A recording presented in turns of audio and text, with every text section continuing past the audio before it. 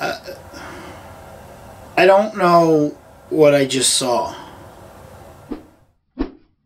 What's up, nation? It's your boy, ETCW World Heavyweight Champion, Of the world, Craig. Shit, not just the city, the world. the Jersey Jackass, your boy, B to the C. Hit me up on all social media at Real Jackass BC, R E L J A C K A S S B C. Don't forget to follow Cinelinx at Cinelinx. I just saw cats. I don't know what that was. Look.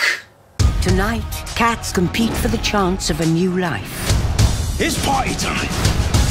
Here we go.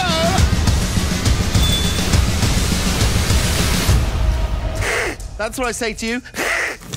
Cross paws.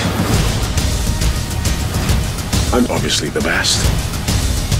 Don't mess with the crazy cat lady.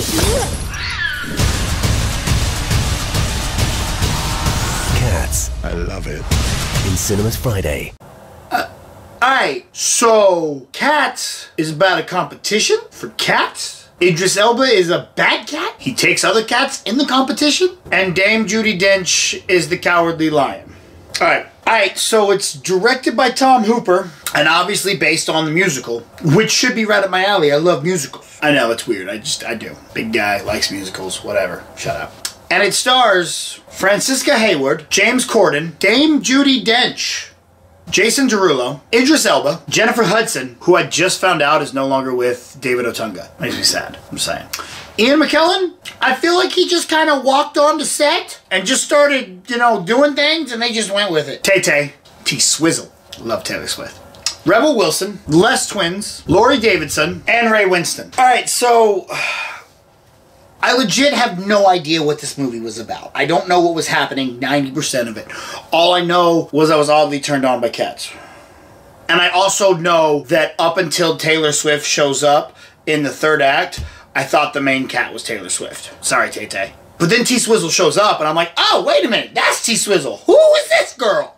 So this girl, Francesca Hayward, uh, this is her first movie really good in it. That's one thing I will say about it. The performances are absolutely incredible. While I may not have any idea what the crap was going on throughout the entire thing, I can say I was really enthralled by everyone's performance. And the CGI look at the I, I guess they did motion capture. I'm not exactly sure.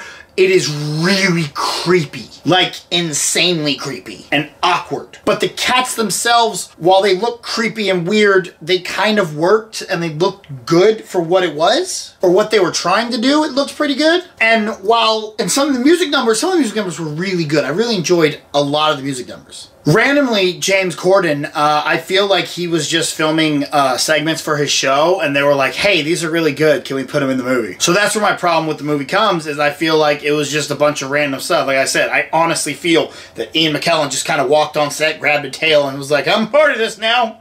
And they were like, "All right, cool, welcome, Magneto." And look, Dame Judi Dench is a G. She's one of the best of all time. I mean, like that's that's M. But seeing her literally look like the cowardly lion is really off-putting and awkward. And Idris Elba too. He's really good, but again, it's it's weird to watch. It's such a, I don't I honestly don't know how I really feel about the movie. I don't know if I like it or I don't like it. There were things that were good about it, and then there was stuff that I just flat out didn't get. And maybe because I'm not the target audience for that. But going into it, like I was like, okay, I'm gonna understand this. I'm gonna be able to get it. It's it's it's gonna be weird, but I'm gonna get it. And that I didn't get that at all. I did not understand the film. I did not know what was going on. I think they were trying to win a contest to die. I don't understand. I think that's wrong. So I don't know. I found myself enjoying parts of it, but then being really bored through a lot of it. Uh, just being able to go, oh, that's a good performance. I wish I knew where we were going with this and what was happening.